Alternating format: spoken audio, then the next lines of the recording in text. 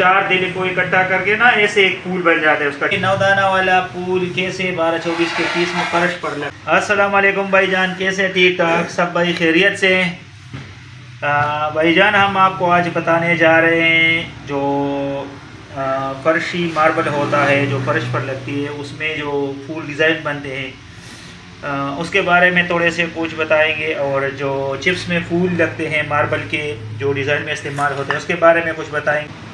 अब हम आपको दिखाएँगे कि ये नौदाना वाला फूल कैसे बारह चौबीस के तीस में फर्श पर लगता है। देखो, बिस्मिल्लाहिर्रहमानिर्रहीम।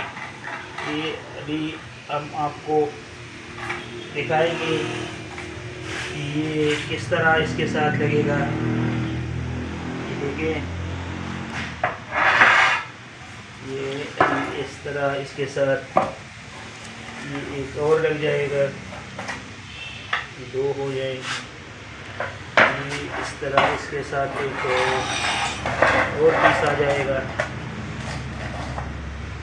ये देखिए, और इस तरह इधर एक पीस और आ जाएगा। ये हो जाएगा हमारा एक पीस। ये ऐसा डिज़ाइन बनेगा इसमें, ठीक है? फिर एक पूल इधर आएगी, एक उधर आएगा, ऐसा। एक इधर आ जाएगी, एक उधर आ जाएगी तो इस तरह ये हमारा ये डिज़ाइन बनेगा, ठीक है?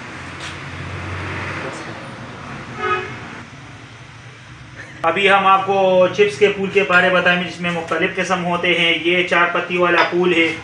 इसको चार बाई चार बोलते हैं। ये चार पत्ती वाला फूल है। ये छः बाई छः का है। और छः बाई छः में ये एक दिल डिज़ाइन आता है।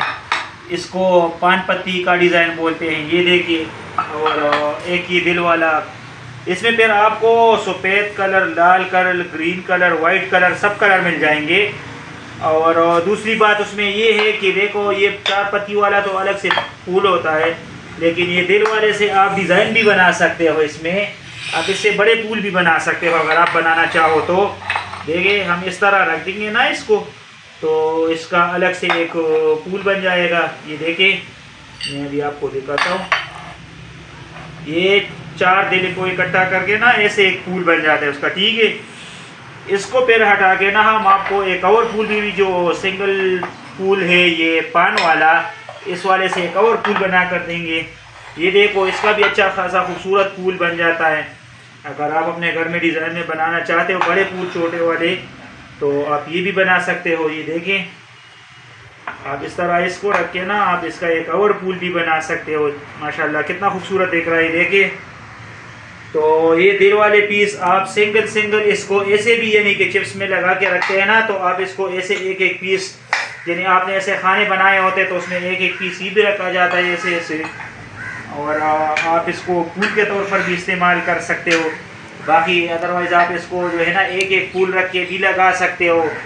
और इन बहुत खूबसूरत आती है ये। हम आपको वीडियो में दिखा भी देंगे कि कैसे जब ये फर्श पर लगा हुआ होता है।